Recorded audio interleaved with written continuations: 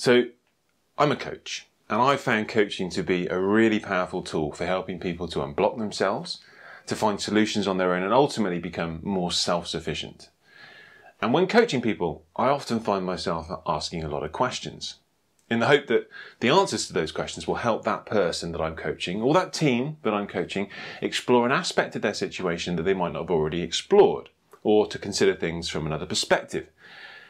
And ultimately, my hope is that that different perspective will help them address their situation in a different and then more effective way. Now, there's no such thing as a universally powerful question because questions' usefulness very much dependent upon the context. But over the last 20 years or so, I have found a few questions that have been more useful on more occasions. And so I thought maybe they'd be useful and helpful to you and ultimately the people you're coaching. Now, I'm sure you've got your own questions that you found really useful over the years. And that'd be great if you could add them in the comments and we can start building up a little bit of a library of these things. But here are my top 10 coaching questions. What's your goal for the situation here? Now, at the start of any coaching conversation, we typically have a discussion about the goal for that session. And that might be something we just need to remind ourselves of when we get to a particular point in the conversation. But equally, it can be really easy sometimes to get dragged down into the weeds when looking at a particular problem. And when we step back and look at the bigger picture, the goal, sometimes things don't seem as important or relevant as they did before. Also, focusing on the goal opens us up to different ways of achieving that goal rather than just working out how to make this particular solution that we've got in mind work. If a future version of yourself were here, what would their advice be to you? Now, one thing I really like about this question is that it breaks the temporal paradigm. It places that person in the future. It also encourages them to assume they've got wisdom to pass on to themselves. They're looking back at a situation that might, over time, have turned out to be less significant than it seems now.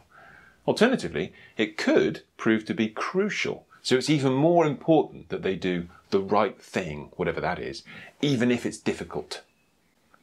What's a really small step you can take now that would move you forward? So, in general, I try and avoid extreme words in my questions, like, what's the smallest step, or what's the best idea you can think of? I try and avoid that because finding the smallest step isn't the goal. And you can actually waste a lot of energy evaluating two or three potentially good options when, for the purposes of our situation, any small step is good enough. And once we've got a small step, we can always embellish it or stretch ourselves. But our overriding aim as a coach is to try and enable forward momentum of any kind. So, a small step that we could take to move us forward. Who do you think would deal with this situation brilliantly? Now, there's a risk with this question that we're implying that the person we're coaching can't deal with this situation brilliantly. But ultimately, whatever they come up with is still from their brain. So even if they come up with this person would handle it brilliantly, they've come up with that solution.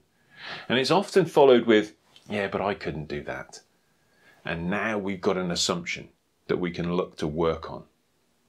What value of yours would you like to dial up here? Now, if there's ever a hesitancy about what to do, by bringing things back to the kind of person they want to be or be more of, I often find it helps people feel more empowered, more brave, more action oriented. By focusing on a strength of ours rather than somewhere that we're lacking or an area of weakness, also, I find, has the potential to increase that sense of possibility. What need is not being met here? Quite a lot of my coaching conversations revolve around dysfunctional or undesirable behaviour. Now, that could be behaviour of somebody else, or it could be behaviour of that person or that team themselves. And I've got a theory that every dysfunctional behaviour is a symptom of an unmet need. And if we can identify that unmet need, then we might not even need to tackle the behaviour itself. I find this question often has a good chance of shifting attention from the surface level presenting behaviour to looking at where that might be coming from. What would you do if you had no constraints? Now, obviously, we all operate within constraints. I don't have a magic wand, I don't have unlimited money or an irresistibly persuasive demeanour. But starting with the assumption that we have no constraints can help us focus on possibility. And we can then start to look at some of the factors that may or may not need to be overlaid onto that fantasy scenario in order to make it more realistic. And one by one, we can start to analyze them, potentially debunk them, and then maybe mitigate them. How could you make this situation worse? I have to admit, I have a soft spot for this question because, on the face of it, it's wrong. If I've got someone struggling with how to make progress, why on earth would I encourage them to make things worse? Well, there are two reasons really. One, because we often find it easier to think destructively than constructively. So at least we can start coming up with answers to our own questions again, new aspects to the situation. And that can actually lead naturally into constructive ideas. Almost by accident, that flow starts going again. And the second reason I like it is that, if nothing else, we can remind ourselves that things are already better than they could be. And we also now have the ingredients for a plan to, if nothing else, stop things from getting worse. Now, I've got a separate video on what I call the psychopath approach if you want more information on this particular question and this idea. But how could you make things worse? Quite interesting. What are two other ways of looking at this situation? Now, ultimately, on the face of it, this is a very simple question, but there are a couple of nuanced twists. So, first of all, rather than looking at solutions, instead I'm asking for perspectives, different interpretations, points of view. And the other nuance is that I've asked for more than one. Now, that in itself just plants a seed that there are multiple interpretations available here. And the person that I'm coaching might not stop at two. Whereas if I ask for one, the chances are I'll just get the other side of the story.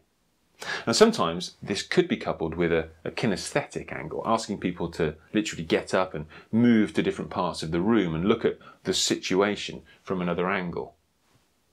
And it could be different people's perspectives. It could be temporal perspectives, short term, long term, past, future, present, or emotional perspectives, looking at it through different emotional lenses. And like I said at the start, all of these questions are contextual, but all things being equal, my favourite coaching question is this one. What are you assuming here that might be wrong? Now, I do deliberately stress the word might here, because this is a gentle inquiry about what might be a false assumption we're holding. Now, that could be an assumption about the situation itself, it could be an assumption about somebody's intentions, the consequences of an action we're considering taking could be an assumption about anything. And I'm not saying that I think they do have a false assumption, but I'm inviting them to do a quick sanity check of their assumptions and explore the possibility that there is another option somewhere. One more time, because I'm bound to get some comments about this. You can't just take these questions and drop them in at random you can't be guaranteed that any of them will be of any use to anybody at any particular point in time. They're context specific, they might help, they might not. But in my experience, these ones have tended to be more helpful than others more often than not.